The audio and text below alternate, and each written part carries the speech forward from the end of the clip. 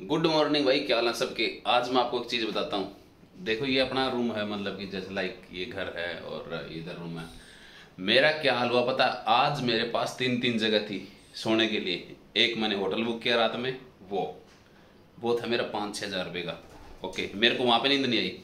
दूसरा, ये दिखा देता हूँ मैं आपको। ये लो ये लो भाई, सुकून बोलते हैं ना, जिसको बोलते हैं कि, ये देखो एक बेड ये पड़ा है यहाँ पे, ठीक है। इधर ये रहा, वो ऐसी रहा।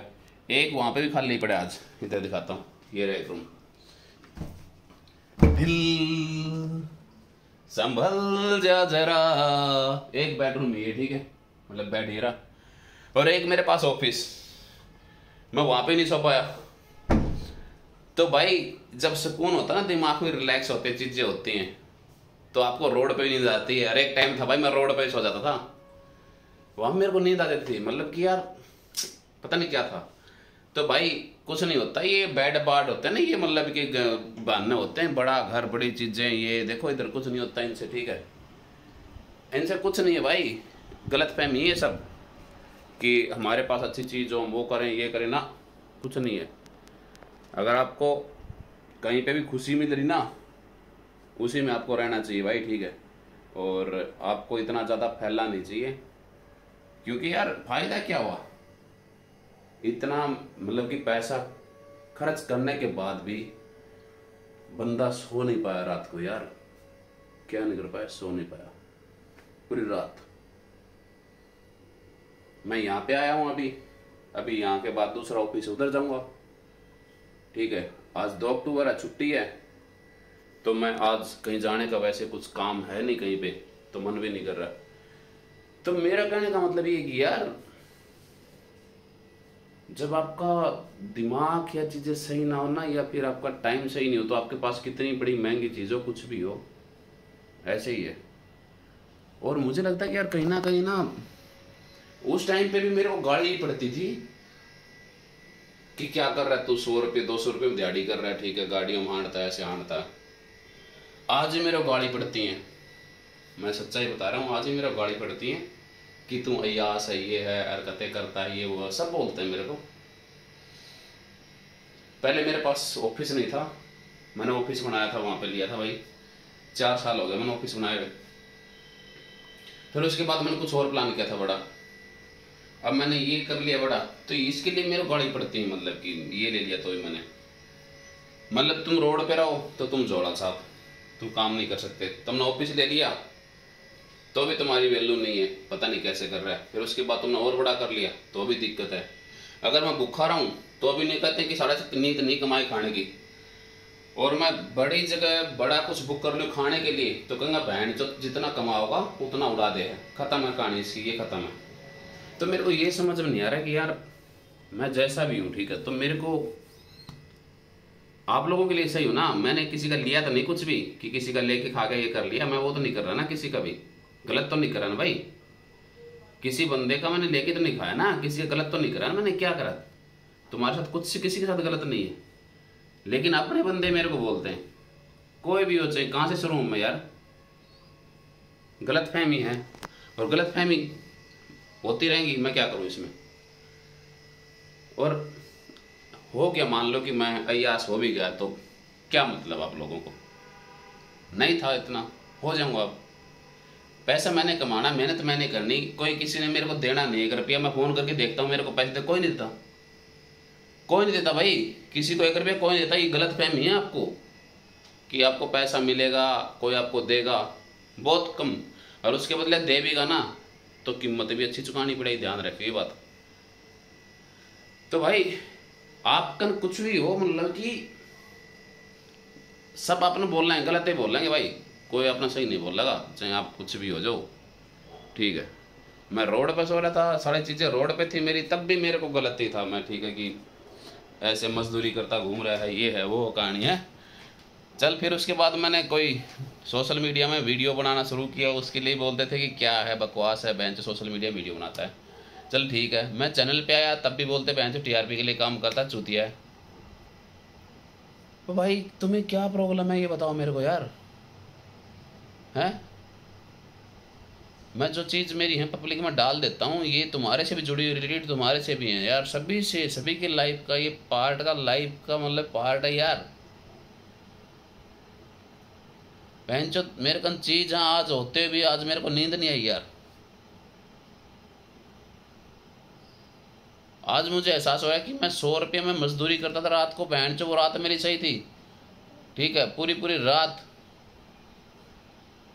बहन जो दो सौ, तीन सौ तीन सौ रुपये मिलते थे, पीछे से मेरे को सौ रुपये देते थे भोसड़ी के, वो खा जाते थे बहन जो, दो सौ रुपये खुद खा जाते बंदे, इतनी मजदूरी करता था। फिर उसके बाद मैं सो जाता था बहन जो रोटी राटी खा के, मेरे को नींद अच्छी आती थी। आज बात नींद की थी यार। भाई, तुम कुछ भी करो, कैसे भी हो, ठीक है? सब कुछ आपने करना पड़ेगा। मेरा तो सही, सभी सजेशन यही है कि मेरे कोई फ़र्क नहीं पड़ता भाई, कोई कुछ भी बोल रहा है, किस तरह की चीज़ हो। लेकिन यार, मैं तो किसी को गलत नहीं बोलता यार, मैं तो किसी को ट्रोल नहीं करता, जाके मैं तो किसी को गलत नहीं बोलता, कुछ भी। आज कोई बंदा मेरे साथ में, मैं किसी को दो पैसे दे भी रहा हूँ ना तो भी प्रॉब्लम है। और जब दो पैसे मेरी जेब में नहीं थे, खुद के लिए, तब भी प्रॉब्लम थी।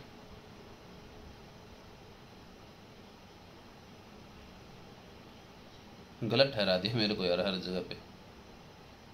किसी ने ये बोला कि ले की तो ये अमाउंट पकड़। तू काम कर। नहीं ना। तो फिर क्यों? हम्म? किसी ने साथ दिया तो हमने उसका साथ दिया भाई।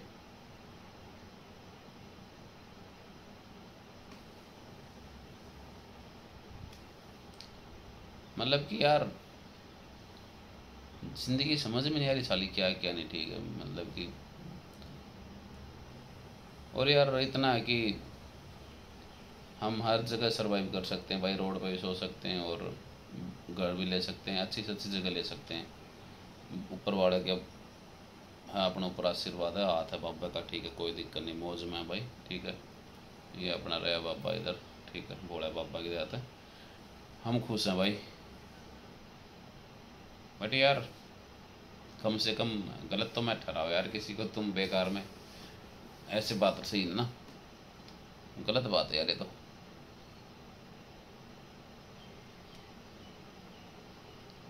तुम्हारे घर में टीवी नहीं है बहन जो, टीवी नहीं था तुम्हारे घर पे उस टाइम पे मैं टीवी पे आ गया, ठीक है? मैं चैनल पे आ रहा हूँ। वो चैनल मतलब कि रिचार्ज करवाने की, सच बोलूँ ना तुम्हारी ऐसी है तुम्हें औकात नहीं बहन चो ठीक है? वो चैनल तुम्हारे घर में चलाने की। मैं उस चैनल पे आ रहा, ठीक है? यार तुम मेरे को बहन चो, फिर भी मेरे को वही चमका रहे हो, ये कर रहे हो। क्या यार? चूतियापन नहीं करते सब, ठीक है? तो जिस हिसाब से हो, उस हिसाब से रहो। तुम्हारा करोड़ रुपया वही तुम्हारे पास है, तुम्हारे पास नहीं है वही तुम्हारे पास है। मैंने क्या मतलब उससे यार? मतलब कोई बंदा, ये है सभी के साथ, हालात तो सभी की ये मेरी तरह ही, लेकिन कोई बोल पाता है, कोई नहीं बोल पाता, मैं बोल के डाल देता हूँ वीडियो, ठीक है। मेरे को क्या, मेरे को कंटेंट मिल जाता है और कुछ है नहीं मेरे पास तो चीज़ें मैं करा, जो डेली रूटीन में साथ हो रही, वो चीज़ मैं डाल देता हूँ उसमें। ये क्या क्या नहीं, छोड़ो। और भाई, जो भी है, चलो ठीक है यूट्यूब भी ना यूट्यूब भी राज़ी हो जाता है, इतनी बड़ी वीडियो डालता हूँ ना तो यूट्यूब भी खुश हो जाता है कि पता नहीं क्या डाल लिया इसने। बाद में देखता ना कि इसने तो बकचौदी मार दी, इसके साथ जो हुआ।